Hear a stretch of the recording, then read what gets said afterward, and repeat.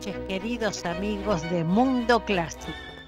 Nuevamente una entrega de buena música, de historias, de compositores talentosos, cosas muy interesantes para escuchar, para conocer, para divertirnos, pasarlas bien, eh, reconocer algunos grandes compositores y otros que también son grandes, pero a veces no son tan conocidos. Bueno, antes de avanzar en las vías de comunicación, que ya las vamos a decir, vamos a saludar a la persona gracias a la cual ustedes pueden escuchar este programa, que es el operador. ¿Qué haríamos de los que hacemos radio sin los operadores? Buenas noches, Matías Valdés. Hola Estela, muy buenas noches para vos, buenas noches para todos los oyentes aquí en Mundo Clásico. Muy buenas noches, gracias Matías por estar ahí. Estamos en el programa 40 y como esto es Radio Verdad, tuvo que sacarme Matías de mi duda porque no me acordaba qué número de programa era. bueno, el, trabajo en equipo, eh, que siempre es tan bueno. Bueno, amigos, eh, les damos las vías de comunicación. Ustedes pueden escucharnos si así lo desean por su computadora, por su celular, por su tablet www.radiorochawixite.com o ponen eh, www.radiorocha en vivo 1570 y aparece. Bueno, también tenemos la aplicación, la app en Radio Rocha, que se escucha muy bien, y el celular, donde les pedimos que si desean dejar algún mensaje, lo hagan por escrito. El, WhatsApp es 678-9929 y si hablan desde fuera de La Plata, anteponer el 221. Una historia con el 221. Yo una vez estaba en Gessel y quería comunicarme con una persona y digo, ¿por qué no puedo? ¿Por qué no puedo? Y porque en esa época, hace como cinco años, yo no sabía que no se le ponía el 15. Bueno, amigos, vamos a comenzar a contarles de qué se trata el programa de hoy. Aquí vamos a hablar eh, de dos compositores, estos contrapuntos entre los compositores son geniales. Vamos a hablar primero de los dos compositores haciendo una breve eh, biografía, porque hay mucho para escuchar y para hablar. Uno de ellos es Christoph Gluck, 1714-1787, fue un compositor alemán nacido en Baviera es conocido por sus óperas que fueran influenciadas por las ideas de la reforma operística. Sus obras, entre otras, incluyen Orfeo ed Eurídice, Alceste y también Ifigenia en Tauride. Gluck fue uno de los primeros compositores en buscar un equilibrio entre la música y el drama en la ópera. Su estilo de composición tuvo un gran impacto en la música clásica y en el desarrollo posterior de la ópera. Vamos a contar una anécdota de Gluck y después vamos a hablar del, del otro compositor. Bueno, en 1770 Gluck se encontraba en Viena trabajando en una nueva ópera llamada Armida. Durante un ensayo, uno de los cantantes, un tenor llamado Luigi Marchesi, se negó a seguir las instrucciones de Gluck el compositor se enojó tanto que le gritó a Marquesi, no me importa si eres el mejor cantante del mundo, si no haces lo que te digo serás el peor.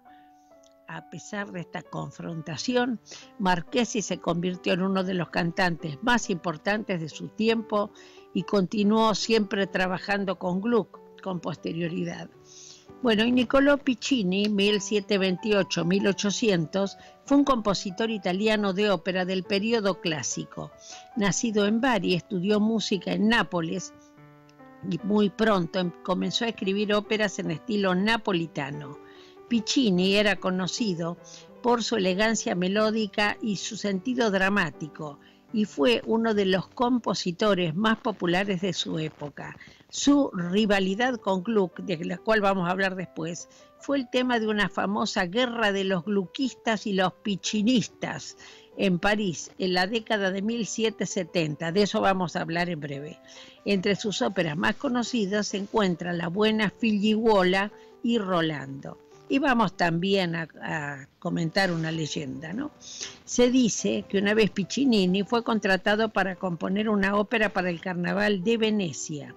El encargo especificaba que la obra debía incluir un aria para el castrati más famoso de la época, Gaetano Majorano, también conocido como Caffarelli. Sin embargo, Piccinini se negó a escribir un aria especialmente para Caffarelli, diciendo que no era necesario destacar a un solo cantante por encima de los demás. El aria que compuso se adaptaba perfectamente a la voz de Caffarelli, pero también permitía a los demás cantantes lucirse. La ópera fue un gran éxito y Piccinini ganó fama como un compositor generoso y equilibrado. Este tema de los castrati es muy interesante, ya lo vamos a comentar en algún momento más detenidamente, porque en realidad este, decía que eran muy buenos amantes los castrati, o sea que eso, y bueno, decían que era para que hicieran las voces femeninas en el momento que no, bueno, que no cantaban, ¿no? Este, no permitían, a pesar de que es de los griegos, ¿no? Este, eh, a veces intervenían mujeres. Basta recordar este, el tema de, bueno, de pintoras, este, esta mujer que, eh, que, era una gran eh, literata, Hipatia de Alejandría, una gran filósofa. O sea que sí las mujeres intervenían, claro está que después las arrastraban por el suelo y las mataban porque no les convenía que hablaran una filósofa. Pero bueno, ese es otro tema. Bueno, vamos a escuchar primero una obra de Niccolò Piccinini que se llama, de una ópera que se llama Didon, y vamos a escuchar la obertura. Esto está eh, ejecutado en la Capela de la Pietà de Turquini y la conduce esta obertura Antonio Florio. Después que la escuchemos, vamos a contar este contrapunto entre Gluck y Piccinine, que es de otra obra. Así que ahora escuchamos la obertura de Didón.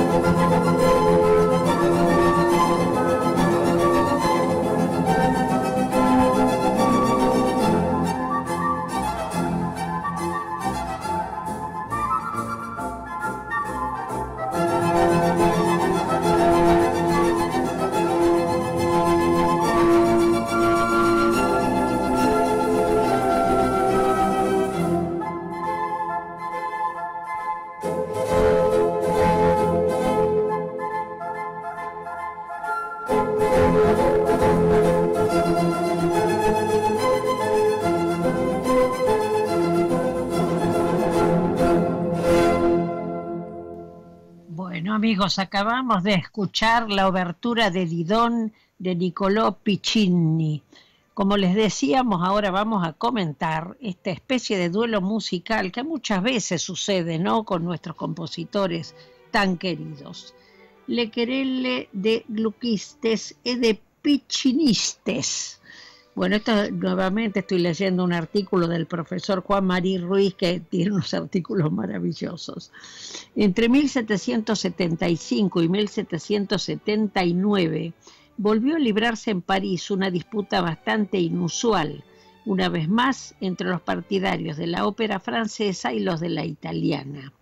Para poner fin a la discusión, los dos compositores más representativos de cada una de las tendencias, Christophe Gluck por la primera y Niccolò Piccinni por la segunda, se retaron a instancias del director de la Ópera de París, de Bismet Duvalgay, a componer cada uno una obra sobre un mismo tema, Ifigenia en Tauride de Eurípides.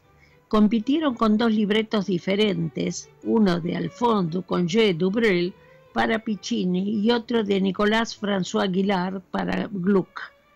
Las crónicas cuentan que la competición resultó ser bastante desigual.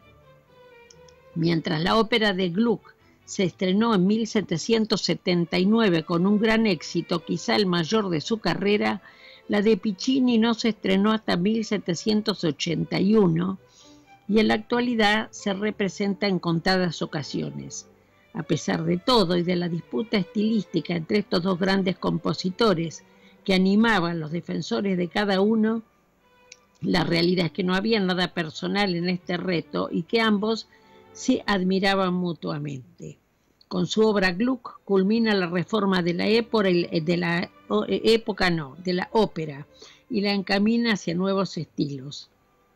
Sustituye el acompañamiento de los recitativos, entonces únicamente confiados al continuo, algo característico del barroco, por un acompañamiento a cargo de toda la orquesta de cuerda. Bueno, ¿qué pasa con esto? Era costumbre de cantar arias de baúl es decir, las áreas preferidas por los cantantes que llevaban siempre consigo y que interpretaban para su propio lucimiento, aunque no formaran parte de la ópera que estaban cantando.